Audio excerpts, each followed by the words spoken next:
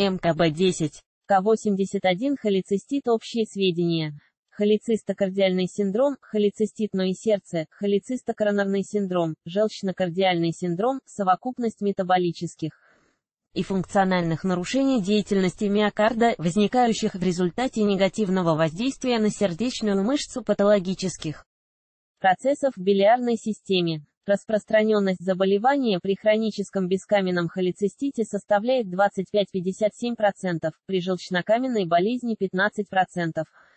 Вариабельность статистических показателей связана с трудностью в распознавании и проведении дифференциальной диагностики патологии. У женщин заболевание встречается в три раза чаще, чем у мужчин. Средний возраст пациентов составляет 35-55 лет.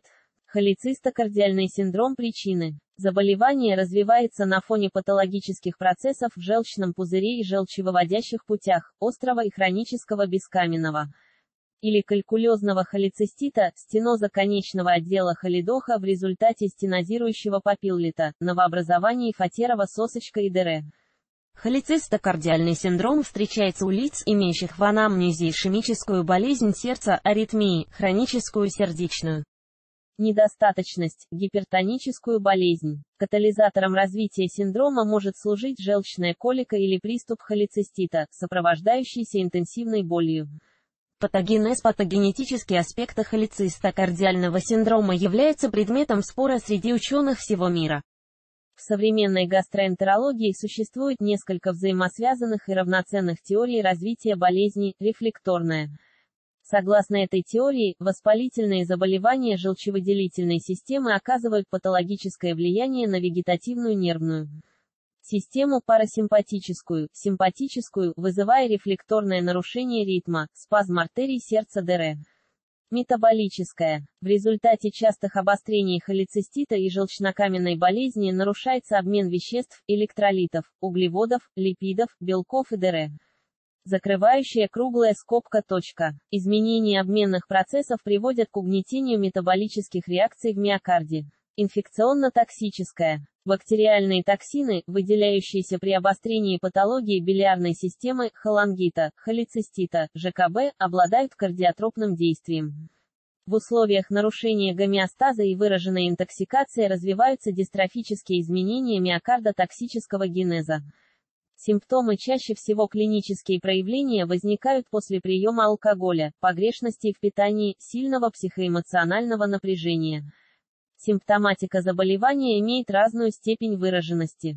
Чаще всего синдром манифестирует острый приступообразный, сжимающий или колющий боль в области сердца и радиирующий в левое подреберье, лопатку, плечо. Болезненные ощущения возникают в разгар обострения холецистита или желчнокаменной болезни. Ноющие, сжимающие боли слева от грудины могут являться единственным проявлением патологии желчевыделительной системы. Существует безболевая форма холециститного сердца, при которой основным симптомом является нарушение сердечного ритма, фибрилляция. Прицердий, экстрасистолия, авблокады.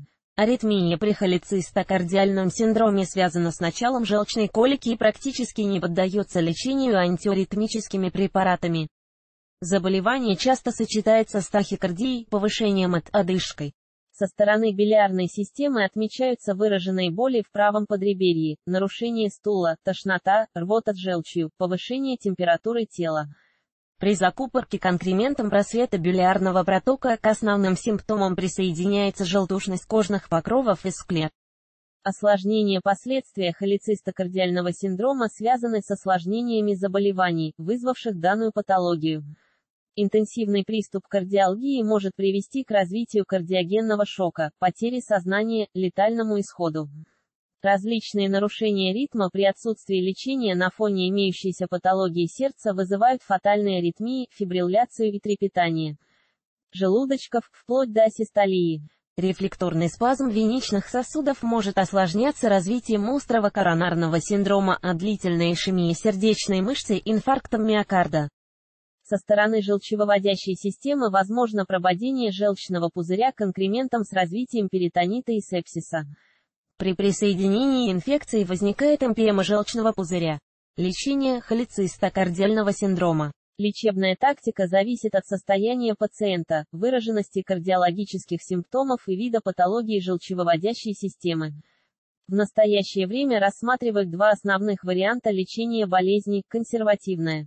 Показано при бескаменном холецистите с редкими 1-2 раза в год обострениями при наличии конкремента в пузыре размером не более 10 мм с сохранением его функции и проходимости пузырного протока. Консервативную терапию применяют при тяжелом соматическом состоянии пациента до улучшения самочувствия. Всем больным рекомендована строгая диета, ограничивающая потребление жирной, жареной пищи, алкогольных и газированных напитков. Назначают препараты урсодизоксихолевой кислоты, которые воздействуют на конкременты, постепенно растворяя их. При небольших размерах камней выполняют неинвазивную ударно-волновую литотрипсию.